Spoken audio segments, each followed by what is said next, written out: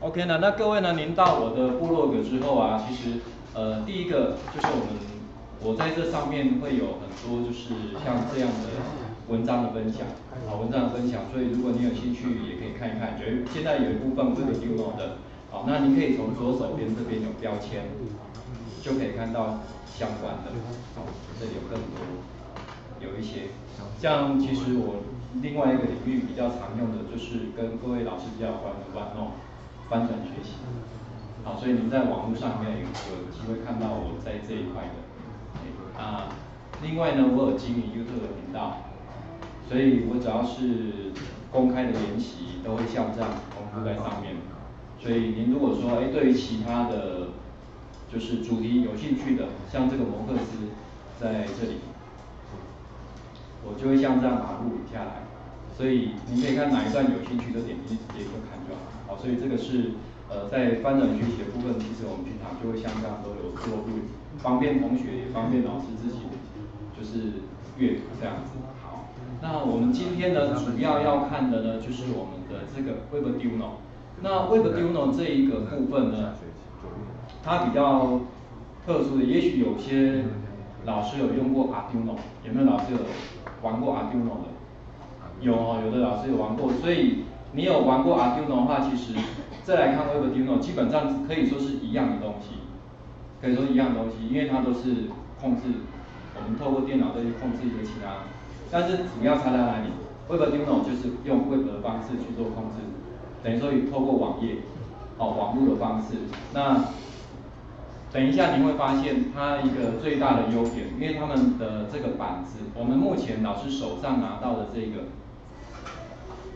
手上拿到的这个是它的搭车 Smart 教育方案的，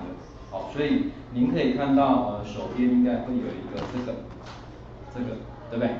打开之后呢，就会有我们现在简报上您所看到的这些套件，好的，看到这些套件，那这个套件呢，您还会呃，像这个是我的，另外这个，这个，像这样子。那么您翻开之后，应该里面有一张纸。待会呢，这张纸比较重要，薄薄的一张，因为上面有它的 ID，有看到吗？好，来，我把这个画面放大一点，这样好，老师看的比较清楚。这样有没有看到那 ID？有一个 SSID 跟什么 Device ID？待会我们后面要用的就是那个 Device ID 这个，这个，这样有没有清楚？老老师你要看看啊，在这里，I 这样，在这里，好，那这个是待会您要找的，所以这一张您可能大家要注意一下。那我们这个套件里面呢，包含的这些东西，包括了有三颗这个 LED 灯在这里，有没有三颗 LED 灯？然后呢有蜂鸣器，这个是蜂鸣器，这个圆圆的这一颗。拿过来这边点，这样你就看得到哦。然后这个是震动开关，这个一小小一个，还有一个按钮的。其实这个按钮事实上我们 Smart 上面本来就有，哦，本来就有一个哈。那它还有一个，我刚刚有提过，就是呃，因为我们这边刚好 USB 的位置比较高一点，那这个线插进去，你可能没有办法接触到桌面，所以待会你可能是吊着用这样。哎，会吊着用啊，稍微老师要稍微小心一点。那 OK，那旁边这个呢，这个这一颗就是温度温湿度的感测器，一个七十块。哎，因为我们上次有人插错脚，然后就烧坏掉，就就看到塑胶融掉的那个感觉。我里面等一下有照片你可以看。好，那么再来呢，它主要的板子是这个哈，您手上拿到会有一个，这里有一个 Smart 板子，有没有？哎，这是我们主要的那个主机板，其实其他这些感测器你在外面都可以买得到了。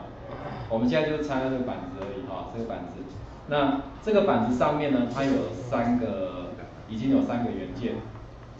我把这个画面放大哈。我们这板子上面呢，已经有三个元件。一个呢，就是您看到下面这里有一个叫什么光明电阻。那它的另外一侧，这一侧，这个有一个。三色 LED 灯，然后呢，在下面这里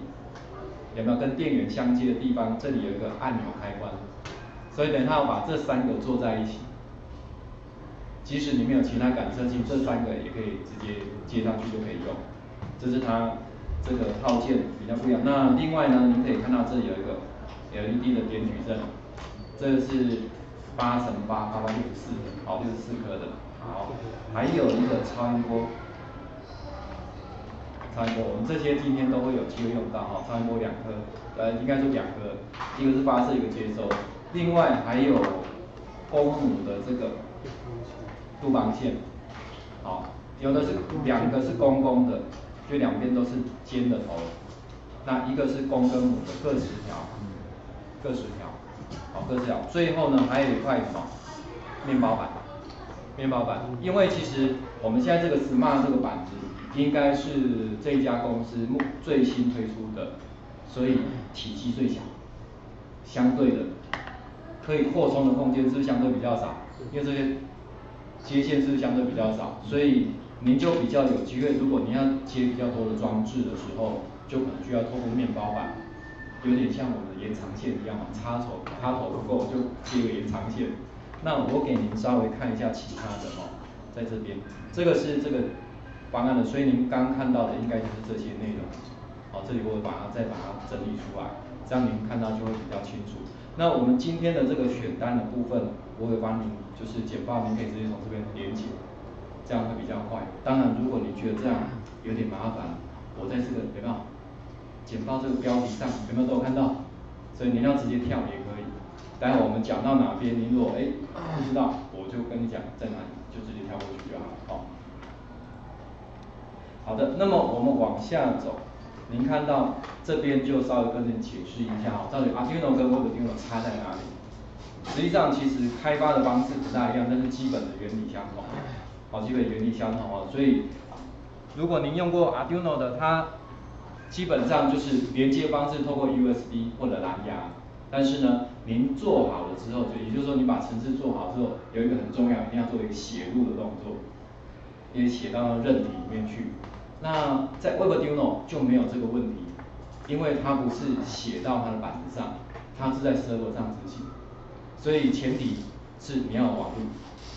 前提要网络，那所以呢，它没有韧体烧录的问题，好，就是哎我在上面就程式写完了，我就可以马上测试，这是各有优缺，不能说哪一个好或不好。那我们往下走，在这个地方您可以看到，这个就是目前。三个板子，那么实际的大小多大呢？我给您看一下。这个，这这样各位也可以现场看。这个其实就 Arduino 板子，这个，只是前面它加了一个他们公司的叫 Fly Fly，Fly，所以就把 Arduino 变成无线这样子，啊，就变这上面有一个无线网络的晶片这样，子，哎像这样子啊，所以这是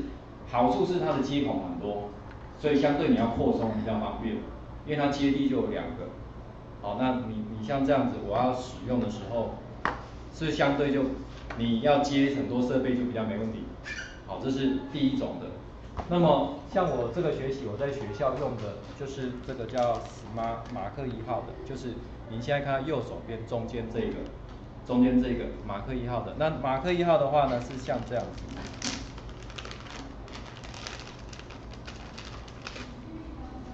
有没有就小一号，对不对？哎，像这样小一号，当然它接线当然就没有那么多，可是至少也是多一点点啊，啊是多一点点。所以如果说像这样子我们在用也还蛮不错的，哎，因为像我在学校里面，我们我把这个用在哪里知道吗？我们的互动多媒体课程里面，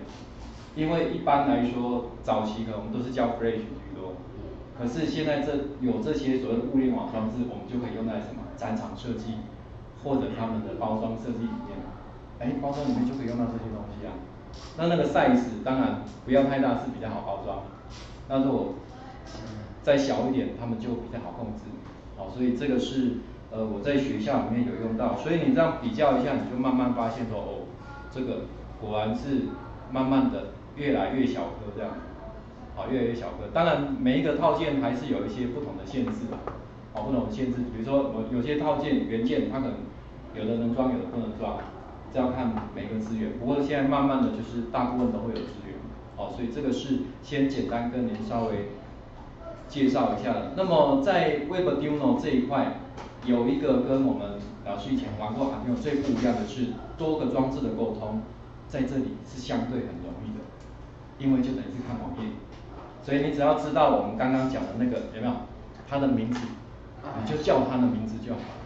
了，哎，它就可以很轻松的，不管你是马克一号的，还是原本这个 Fly 还是 Smart 都一样，你只要知道那个装置叫什么名字，我就可以直接控制它。好，那这个是